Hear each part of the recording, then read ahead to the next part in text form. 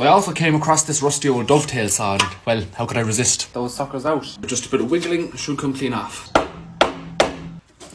There we have it. So we're going to start again with some 120 grit sandpaper here. So with just a few minutes of sanding, we took it from looking like this to looking like this. And once we have both sides done, we can go on to cleaning up the brass, which I'm looking forward to. Brass always looks very nice when you remove that patina.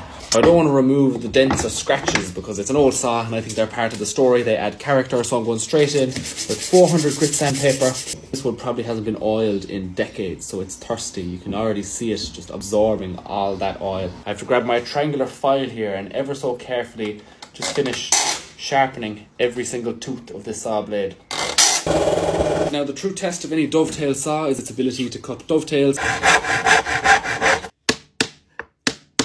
Cut with the saw on this side of the pin instead of here, so we're left with a big ugly gap, but suffice to say, the saw worked